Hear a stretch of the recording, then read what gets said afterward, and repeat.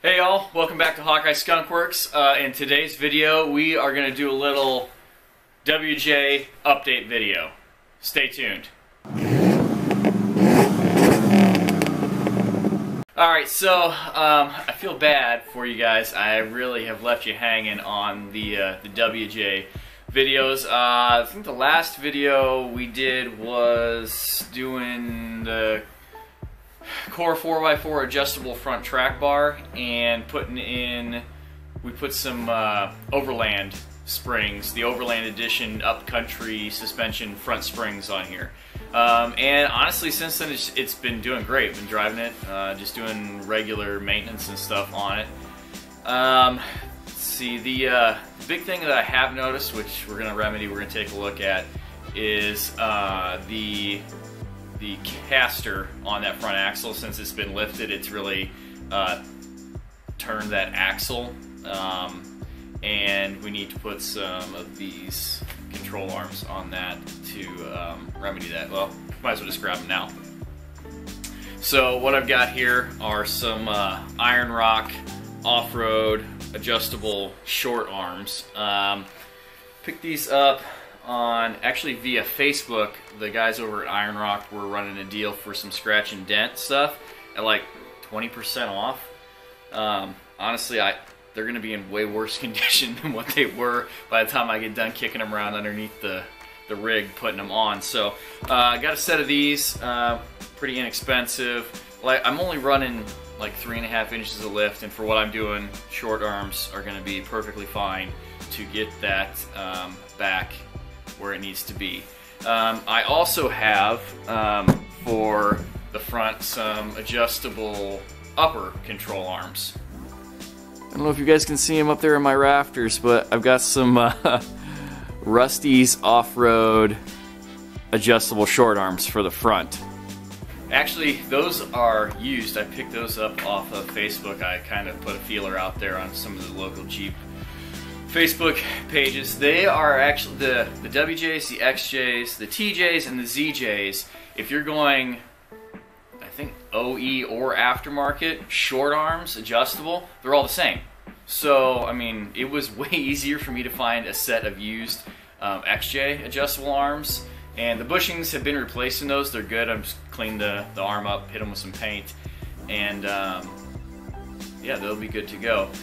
Uh, track bar is already on there, so the front end will be sorted after that. Now for the back, um, I've got some more, boom, Overland um, Upcountry. And in case you guys don't know, on some of the the Overland Edition WJs, like it'll have a badge on it, it's like a limited, but it says Overland. It came with a different, slightly different suspension. Um, came with uh, different coil springs that gave it about an inch of lift and they ride way better. So we're gonna throw these on there with my rear uh, spacers and it should be should be pretty good. Um, and then I'm also gonna put um, this Iron Rock, again used, picked it up off Facebook, um, upper A-arm spacer. This goes on top of the axle and it just gives that, uh, that triangulated um, control arm thing you, WJ guys know what I'm talking about.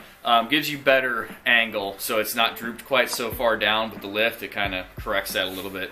Um, it's just a two-inch chunk of aluminum, or might be two and a half inch, um, with some longer bolts.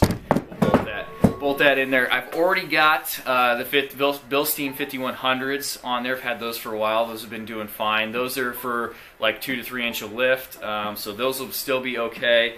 But what I'm really the most excited about is, well, one of them's right down here. So let's, I'm gonna grab the camera and we'll look.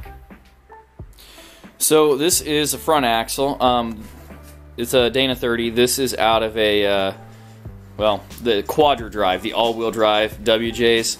And what kind of makes these things special is it has uh, 373 gears already, and it has it, essentially it's it's a limited slip. Um, from the factory. So rather than the the Dana 30 that's in the front of this that is 355 gears, well 355 gears in the back as well, but um, and open open uh, open diff. So and I have uh, my rear Dana 44A to go in. The A is for the aluminum uh, cast housing it has. I've ground that down, cleaned it all up, you know, hit it with some some Rust-Oleum. Um, the axle shafts are out of it right now uh, because I had to pull the uh, brake assemblies off of it. The backing plates were all bent up from being at the wreckers, uh, but the uh, brakes that are on my WJ right now, the emergency brake backing plates and all the the other brakes are actually they're exactly the same, uh, so they'll bolt right on there. I've got uh, the only thing I have left to do. I need to get some new wheel studs. The one axle wheel studs were kind of uh, mangled up, so I got to get some new ones of that. This has the uh, Dana 35 open in the rear, which that's going to go away. So speaking of brakes, if you guys didn't know, um, the WJs came with two different versions of brakes. They came with an early version and a later ver version. Uh, I believe the early version is the Teves, T, T, Teves, and the later version are the Akebono brakes. And the later ones are much better. They're held on by bolts instead of uh, like this wire retaining clip. And this, I already had put newer brakes on this not too long ago. So I'm just going to swap all the brakes over. Um, uh, would have been better to time it all. It would have been better if I could have timed it all together and I could have just bought the new upgraded brakes because it's calipers and brackets. It's not just rotors and pads, but um, all the newer brakes that I have will swap over to these axles. I'm really excited to get those axles um, and I've been filming um, working on these axles so that'll be a separate video and putting them in. Uh, you'll notice big issue on these is the uh, the spring perches rust away and um, I've just got some quarter inch plate. They make kits for this but um, it's pretty easy. Uh, it's like five and a half inch and then like some two and a half or three inch and then just weld that all together um, and I'll, I'll, give you guys the exact measurements on that in the video where I'm putting this together. So I'll just weld all that up together. I've got new hub assemblies to go on both ends. I'm gonna pull the axle shafts out and take a look at the boots and feel the CVs um, they're actually not that expensive. It's like a hundred bucks. You can get a new set of um, aftermarket OE um, shafts.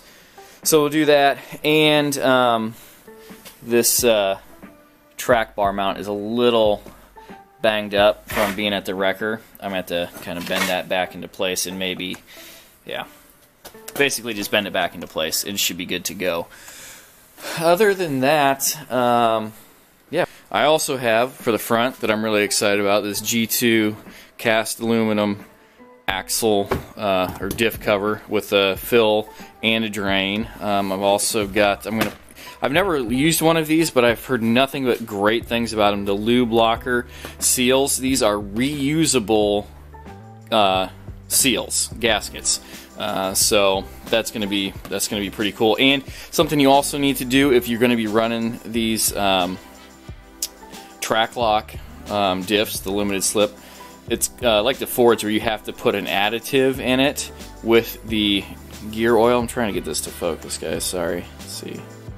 I think the, the fluorescent lighting is not playing well with the reflection. But anyway, this is a limited slip additive um, from Mopar. I got this from Amazon actually. So um, a lot of 90 weights will have that uh, additive in it. But whether it's for this, for the Jeep or for the Fords, I've always, everything that I've read online is you should go ahead and add the additive anyway. It's cheap, and I always have, and I've never had any problems. Um, I did finally get a new front drive shaft put in this thing. Um, you may remember that uh, the little weekend camping back road trip that me and the wife did um, last year totally toasted the Rzeppa front drive shaft in this. So I found a double cardan U-joint style um, shaft at a wrecker um, from a V8 version, bolted that right in. Those are good I've seen guys running those up to like six inches of lift, which I, I don't think you'd probably want to do that. But again, with my three and a half, be perfectly fine. And my rear one, I checked the slip yoke, and we'll look at that when I put the axles in and the springs. I still have plenty of room on that shaft. I shouldn't have to do a slip yoke eliminator on that. Other than that, I think we're pretty much up to date. You know, we got spring shocks, axles, drive shaft, control arms. Um, I'm, I'm really excited to see how this, or to feel how this thing's going to drive once it's got those front uh, control arms in there and all set up um, so that the caster is better. But, um, so. You guys noticing the, the stocking cap? I love this. This is, uh, this is what my, my youngest picked out on her own for me for Christmas. It's like three stocking caps in thickness. And I'm in my garage right now. My fingers are actually numb. I should have gloves on. Um, but my head is toasty warm. So, and it matches green, green, green. Again, leave comments, questions in the comment section below. Email me, HawkeyeSkunkWorks at gmail.com. Follow us on Instagram and Facebook. And I think that's it. I got some new merch on Teespring. You guys should go check that stuff out. It's pretty neat. If I do say so myself, it's priced as low as they'll let me price stuff. Because, again, I'm not doing this to make a fortune. I just like doing it. And uh, I think we'll wrap the video up there. As always, thanks for checking us out. Hit the subscribe button, hit that notification button, hit that like button, and we'll see you later.